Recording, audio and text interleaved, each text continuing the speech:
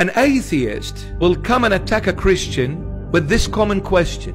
You Christian believe that your God is all love and all powerful. Our reply will be yes, because that's the truth. Our God is all love and all, All powerful. powerful. Okay, then how come this God of yours, who is all love and all powerful, allowing for evil to infiltrate and expand so rapidly on a global level? Where is his all power? Where is his all love to come and save and put an end to this evilness?